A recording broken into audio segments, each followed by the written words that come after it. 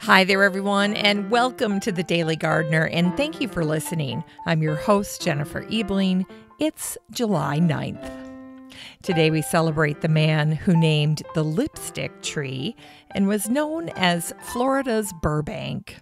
We'll also learn about the incredible work of an extraordinary Russian botanist who was tragically sentenced to death on this day in 1941. And today we honor the life of the father of hybrid corn. And today's poetry is all about a favorite summer crop tomatoes. We grow that garden library with a witty and poetic book about gardening and life. And then we'll wrap things up with the story of a Marvel character near and dear to gardeners' hearts. But first, let's catch up on some greetings from gardeners from around the world in today's curated news. First up is an email from Deb M., who shared a picture of her very first trumpet bloom of the year. Do, do, do, do. Yep, it looks fantastic. Then Susan A. wrote in to share a picture of a rose, and she writes, I call this my lucky rose. My friend had pruned her old rose severely back, and I brought some of the cuttings back to my garden and stuck them in the ground. This one took. Lucky rose indeed. Then Pete K wrote in to ask, Do you name your gardens? That's a good question. You know, Pete, I used to name my gardens, and now if I name them, I just use the direction they are on the property. So I'll say, This is the Eastern Garden, this is the Western Garden. But I used to name them after the last names of some of my ancestors. But the longer I garden, and probably the more I podcast, I have less time for that. And so I just stick with directions. But I know lots of gardeners who come up with all kinds of clever names for their gardens. And, you know, come to think about it, we did name our cabin. We call it Ashton House because it's on this little lake called Ashton Lake. And my great grandparents had settled in Ashton, Iowa, so that name really resonated with me. But yes, full circle moment here. Go ahead and name your gardens. I think it's a nice little habit. And of course, you know that I love to say that gardening is a relationship. So, naming your garden just goes hand in hand with that. And then finally, Linda Richardson sent in pictures of her beautiful daylilies. And she prides herself on growing daylilies that are not just yellow, that are not just the Stellas. So she's got pink and coral. Very, very pretty. And she took these pictures in the morning. Great job. All right, that's it for today's Gardener Greetings. Now, if you'd like to participate in today's Gardener Greetings segment, go ahead and send your garden pics, stories, birthday wishes, and so forth to Jennifer at thedailygardener.org. That's Jennifer at thedailygardener.org.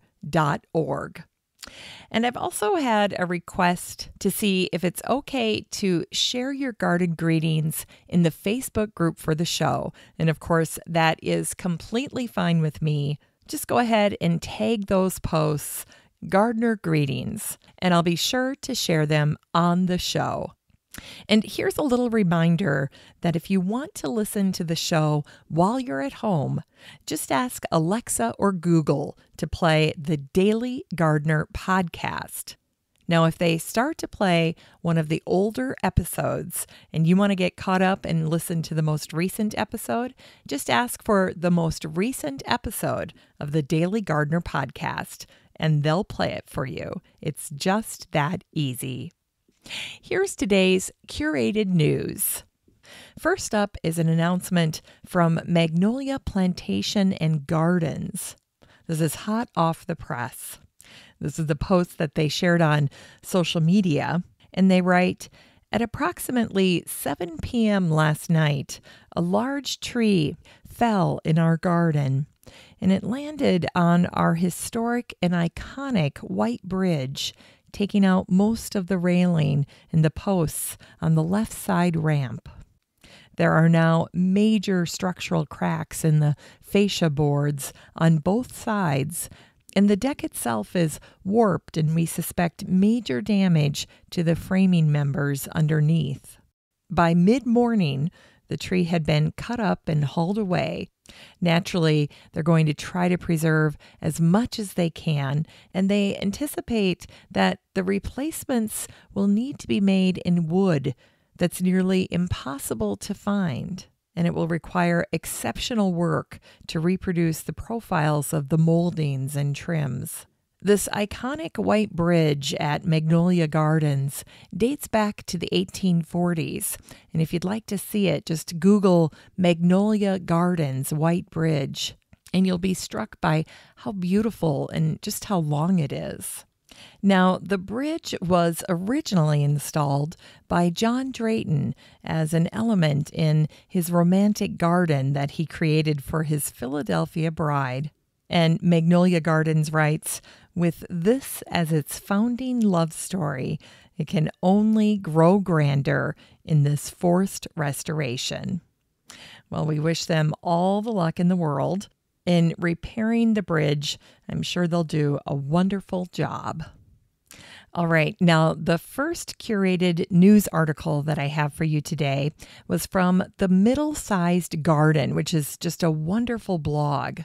And the website says that if your garden is bigger than a courtyard, but smaller than an acre, then that blog is for you. It's called the Middle Sized Garden, and there's a hyphen in between middle and sized. Now, they wrote a post recently called What is Cottage Garden Style and How to Achieve It? Alexandra Campbell writes this blog, and she covers everything from garden fertilizer and growing vegetables to pruning and general garden maintenance. Now, the post that Alexandra recently wrote that caught my attention is called What is Cottage Garden Style and How to Achieve It? And I thought I'd read a quick little excerpt for you. And then if you'd like to track down her post and read it in detail, you can find it in the Facebook group for the show. And I love that Alexandra starts out by confronting something that all gardeners have been dealing with, and that is sourcing plants. It's been challenging. She writes, it has been difficult to source exactly the plants we want. We've had to compromise on color and style, and friends have been saying things like, I wouldn't normally buy scarlet pelargoniums, but they were the only ones I could find. So true. Alexandra writes, as for whether the cottage garden style really came from cottages, in theory, it started when low paid farm workers filled their gardens with vegetables, herbs, and fruit trees for their own use. There's a theory that cottage dwellers got the leftover plants when the head gardener divided them up. Now, as for whether there are rules to cottage gardening, Alexandra says, nope, there aren't any. That's the whole point. There's no need to plant in threes or fives or in drifts or to think about color combinations unless you want to. Alexandra encourages us to focus on easy plants and flowers and you'll be off to the races. Now, if you'd like to read this post in depth for yourself, just search for the word cottage in the Facebook group for the show, and this post will pop up and you can read through it and find the inspiration you need to start your own cottage garden. Then, next up was a post that was from Higgledy Garden, and it was all about sowing biennial flower seeds in June and July. This is a fantastic post about the biennial flower seeds that you should consider growing in your garden, especially if you're looking for more color and more blooms, enough to get you through the entire summer, and especially if you're looking for good cut flowers. On their post of recommended biennials. They like the plant Lunaria or Honesty, that's the common name. Honesty flowers make great cut flowers. They love Sweet Williams. They also recommend foxgloves, especially the white foxglove alba, which they consider to be very essential for a home florist. And then finally, they also recommend Hesperis. And here's what they said about Hesperis I love this flower, one of my favorites of all the flowers I've ever grown. Simple, pretty, easy to grow. So there you go, a little list of biennial flowers that you can plant in your garden. And if you'd like to read this post for yourself, just search for the word biennial in the Facebook group for the show, and this post will pop right up. All right, that's it for today's gardening news. Now, if you'd like to check out my curated news articles and original blog posts for yourself, you're in luck because I share all of it with the listener community in the free Facebook group for the show, the Daily Gardener Community. So there's no need to take notes or search for links. The next time you're on Facebook, just search for the Daily Gardener Community and request to join. I'd love to meet you in the group. Here's today's brevities. On this day in 1926, the Green Bay Press Gazette posted an article titled Ice Cream Grown on Vine in the Yard of Former Kentuckian. The article was about the fabulous Colonel Henry Wallace Johnston, who, until the age of 50, had operated a hardware store in Lebanon, Kentucky. At midlife, he moved to Homestead, Florida, and in 1912, he created a 20 acre estate he called Palm Lodge Tropical Grove. Henry was a character. He enjoyed dressing the part of a tropical explorer, wearing a tropical outfit complete with a white helmet and looking as if he had just finished playing Jumanji. Henry became known as the Wizard of Palm Lodge, or Florida's Burbank, a nod to California's Luther Burbank. And he added over 8,000 incredible specimens of tropical fruits and flowers. Many were not found anywhere else in America. Truly, Palm Lodge gained Henry a worldwide recognition. And although Henry never traveled outside the United States, he was a natural marketer, and Palm Lodge's reputation brought the plants to him. Henry's story includes the following spectacular facts. First, he grew almost all of his plants from seed. He coined the name lipstick tree. He grew a rare flower that produced a perfume called the scent of Lilith. He grew the dumb cane tree or Dieffenbachia from Cambodia, and he would tell folks that if they bit into the leaves, their tongue would be paralyzed for six weeks. He successfully cultivated rubber plants. Harvey Firestone and Henry Ford had brought them back from Madagascar, but only Henry's plants had survived. He grew the Palestine tree, and he wrapped the fruit in cellophane while on the tree to protect it against insects. The fruit was used in religious rituals by rabbis, and Henry would send it to them. He grew the gingerbread palm, and the palm's fruit tasted of gingerbread. He furnished almost all of the plants for the state of Florida's tropical exhibit at the Chicago World's Fair. He produced nearly 300 different types of fruits and jellies, and he packaged all of them at Palm Lodge.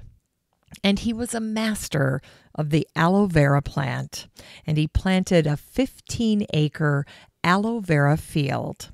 By 1920, Henry was regularly harvesting the leaves and bringing them to Miami, and each one had to be individually wrapped to stop the spines from making the jelly ooze out. Henry loved to tell about a plant that he called the ice cream vine, botanically known as the Monstera deliciosa. The fruit resembles a large ear of corn, minus the husk, and tastes like a combination of banana, strawberry, and pineapple. Henry's Palm Lodge of Florida was a showplace, and there was no charge for admission. Homestead, Florida's Chamber of Commerce advertised that 30,000 people, including botanists, visited the lodge every year. And one day, after 2,000 or so guests had passed through the gardens, the register revealed that Henry Ford had visited unnoticed in the crowd. And it was on this day in 1941 that a Soviet court sentenced the extraordinary 20th century Russian botanist Nikolai Vavilov to death by firing squad. Worried about the world's plant biodiversity, Vavilov became a dedicated plant collector, and he had the foresight to build the world's first seed bank in St. Petersburg. His life's mission was something he called a mission for all humanity, and it was tied directly to his drive to build a seed bank.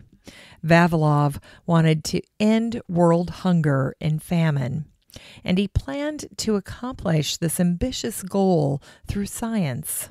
He hoped to breed super plants that would be both nutritious and hardy so that they could be grown even in the most challenging locations on the planet. During his life, Vavilov had enjoyed Lenin's support. His big ideas knit perfectly together with Lenin's desire for a socialist utopia. But after Lenin died, Vavilov was on the outs. His family was made up of accomplished scientists, and they were considered part of the bourgeoisie and scorned. The events that led to Vavilov's sentencing and ultimate death had to do with Vavilov's critique of a fellow scientist. Vavilov had publicly criticized a geneticist named Lysenko who had Stalin's backing. And so on this day in 1941, Vavilov was sentenced to die. But Vavilov never faced the firing squad. Instead, he died of starvation two years after receiving his sentence. Today, the Vavilov Institute houses over a quarter of a million specimens and is a living monument to Vavilov, the scientist who wanted food security for all of humanity, yet ironically died of starvation in the basement of a Soviet prison. And today in 1942, newspapers announced the retirement of the father of hybrid corn, George Shull. An Ohio farm kid, George was the noted botanist who taught at Princeton University for 27 years. George's work resulted in a $150 million increase in the value of U.S. corn, and it was a direct result of his crossing pure line varieties with self fertilized corn. George's uber productive hybrid yielded 10 to 40% more than ordinary corn. And like many plant breeders, George never made a penny from his creation. In Unearthed Words, today's poetry features a favorite summer plant, the tomato, Solanum lycopersicum. This first quote's by the American chef and writer Mario Batali. You know, when you get your first asparagus or your first acorn squash or your first really good tomato of the season, those are the moments that define the cook's year. I get more excited by that than anything else. The American writer and humorist Lewis Grizzard said, It's difficult to think of anything but pleasant thoughts while eating a homegrown tomato. And the American singer and songwriter John Denver sang about tomatoes in his song called Homegrown Tomatoes. Homegrown tomatoes, homegrown tomatoes. What would life be like without homegrown tomatoes? Only two things that money can't buy that's true love and homegrown tomatoes. And then finally, the cartoon Hey Arnold by Craig Bartlett had an episode that featured tomatoes. This is the episode where Mr. Simmons reads the Walter Charles Walter poem. The poem is called They Were Delicious, which is a parody of the William Carlos Williams poem called This Is Just to Say. Here's the dialogue from the episode. Mr. Simmons begins reciting the poem while Harold steals Mr. Simmons' lunch and starts eating it. Here's They Were Delicious by Mr. Simmons from Hey Arnold. I have eaten the tomatoes that were on the window sill. Were you saving them for a special occasion? I apologize. They were delicious, so juicy, so red. It's time to grow that garden library with today's book, The Backyard Parables by Margaret Roach. This book came out in 2013, and the subtitle is Lessons on Gardening and Life. And one of my favorite cookbook authors, Anna Thomas, said, as I read this witty, revealing, sometimes poetic confessional, I felt I understood for the first time what a garden could be a work of art, a source of pleasure and solace, an object of beauty, a provider of nourishment, and why Margaret calls the plot she tends my monster. This is the story of a real relationship, Margaret and her garden, a love story. This book is 288 pages of Margaret's stories about gardening, culled from 30 seasons of growing and learning what works and what does not. You can get a copy of The Backyard Parables by Margaret Roach and support the show using the Amazon link in today's show notes for around $3. That's right, $3. I think everyone, every gardener, should have a copy of this book in their library. Finally, here's something sweet to revive the little botanic spark in your heart. On this day in 1963, the Marvel comic botanist Samuel Smithers became Plant Man when lightning struck his plant ray gun, giving it the power to control and animate all plant life. After losing his duel with the human torch in the botanical garden, Plant Man was taken to prison. In his last storyline, Plant Man transformed into a giant plant monster and attacked the city of Los Angeles in retaliation for humans polluting the world. In his final moments, Plant Man was defeated by Iron Man. Here's one of Plant Man's more popular lines Do not speak to the Plant Man of power.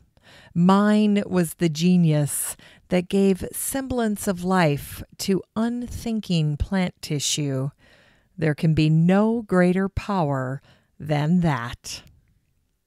Thanks for listening to The Daily Gardener. And remember, for a happy, healthy life, garden every day. The Daily Gardener is produced in lovely Wyoming, Minnesota with the help of Paige Mance, Brooke Beerbaum, Kiana Rayleigh, Maddie Doyle, Natalie Decker, and Eric Begay. You can find The Daily Gardener on all your favorite social media. You can follow the show on Instagram, and listeners always have a standing invitation to join the free Facebook group for the show. Just search for Daily Gardener Community the next time you're on Facebook and request to join. All the the stories and books that are featured on the show can be found over at thedailygardener.org, thedailygardener.org. And while you're there, be sure to sign up for my free Friday newsletter. Last but not least, you can share your own gardener greetings on the show by emailing me at jennifer at thedailygardener.org. I'm your host, Jennifer Ebling, and as always, have a great day in the garden, and we'll see you tomorrow.